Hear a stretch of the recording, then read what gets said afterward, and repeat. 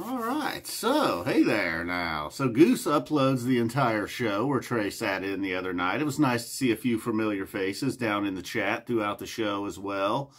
And if you're a Goose fan and you stumble upon this at some point, they'll be like, oh no, not this guy.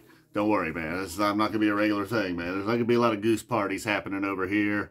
But I did, uh, and you know, what's like kind of like other bands, you know, I don't want to name any names, any other bands in particular to compare it to, but sometimes with bands that I think maybe I'm not that into, once you start listening to them and kind of get into the rhythm and they really start jamming and then you realize that the vocals kind of come and go, that there's really more just music going on, you kind of get into it. You get into the flow and, you know, you're just kind of like, oh, whoa, this is really good.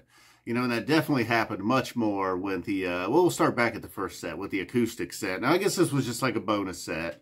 I suppose Goose just normally does the two sets. I don't think this is a, a, normal thing, or maybe this tour it is. I don't know. It seemed like a special show for them there at Radio City. Man, that, that place looked huge too on their webcast. But uh, so the acoustic sets that's starting it out, you know, nah, that was definitely not going to be my thing. You know, I don't know. You get you get you got got white guys over there hitting uh, percussion with their bare hands, any kind of bongos or congas. Anytime any of that stuff's involved, man, I ain't into it. You know.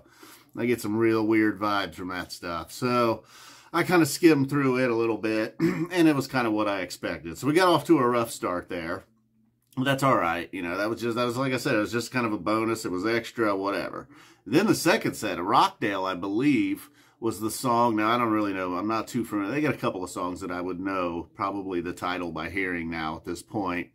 But through the chat, I believe Rockdale was what opened up the second set. And then I don't know, you know, what when it became another song or whatever, but definitely hit a point in that song where they were just jamming for a while. And it was like, damn, here we go. And it did not, you know, and it started, there was, you know, it sounded a little funky at one point early on in the second set there. And I was just like, all right, now this, this definitely does not sound like, uh, Jam Band X here for a while. And there, are times throughout, you know, and it's not, I don't even believe it's a huge criticism, but I mean, every jam band at some point is guilty of it. I feel like Goose is probably comfortable with being a jam band, right? I mean, they do in fact jam.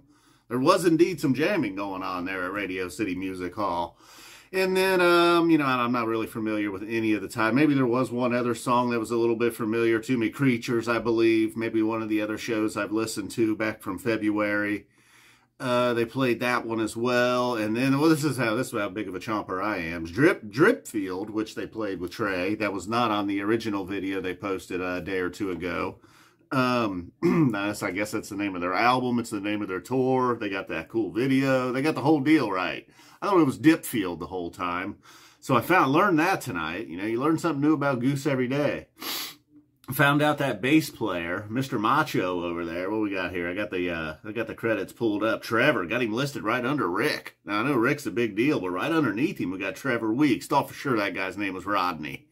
Called him Rod for short. I mean, it's a lot of man on that bass player. I'm not I'm not afraid to admit it. That, that guy that, he's more man than me. Now, you know I don't know if that's some kind of shtick he's got going on or if that's a real deal. And I noticed at the end, you know, a lot of hugging going on with Trey, a lot of thanks a lot of whispering in the ears. Not with that guy. Just a firm handshake between him and Trey. Trey knew it. Trey was like, this guy does not accept hugs. This guy is way too macho. He will, he would probably have just crushed Trey. Probably Trey's hand was hurting after that handshake.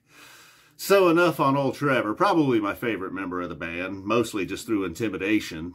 And then uh, the keyboard player, I mean, that guy plays guitar too. What's going on? I'm sure if you're a Goose fan, you're probably real into that. You know, I know a Phish had, you know, I would be like, hey, yeah, man, our keyboard player, he plays guitar and keys. He can sing. He's got this mustache. He's got the whole deal, man. It is pretty cool, I guess. And the fact that they can just mix in an acoustic set.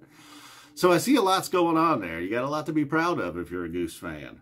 You know, I just it's like the shirt says, man. I wouldn't even say I'm not 100% sold. I guess I'm just not 100% into them. You know, I'm super into Billy Strings, obviously super into Phish. And uh, I just don't know if I got time, man. I don't know if I can make it the trio. well, Goose would perhaps make a uh, a nice uh, third member of the trio there. But, I mean, we got Igor over here on the monitors. Pete. I like their names, too. They're like Pete and Ben and Trevor and Rick you know, fucking Jeffrey, he's the wild one. Damn percussions though, man. Everybody's on vocals apparently in this band. I don't know. So, Um, and unfortunately, no whiteboard. I did see somebody maybe in the comments, the actual comments, not the chat, did leave a uh, set list. I'll have to go through there and uh, I don't know, the two songs they played after Dripfield were, were really cool too. And maybe it's just, you know, hearing the familiar tones of Mr. Antipasta kind of keeps me going, kind of keeps me into it a little bit. But I feel like we got more jamming than we got singing, so that's always a plus with any band. No disrespect to the uh, to the vocals of the Goose, but and then I like I like the crowd, you know, the Goose. Every time they get a chance, they scream out Goose. Kind of reminds me of when like Aaron Boone or Brett Boone played for the Reds. Every chance fucking people got, they'd say it. So all right, man. Thanks to Ben and Trevor and Rick and Pete and fucking Dave and Steve and Mike. Surprised there ain't a Jones in this band. Is there a Jones in this band? And of course, Trey Anastasio. And thanks again to everybody that uh has been watching the videos recently. And boom, we'll see you soon.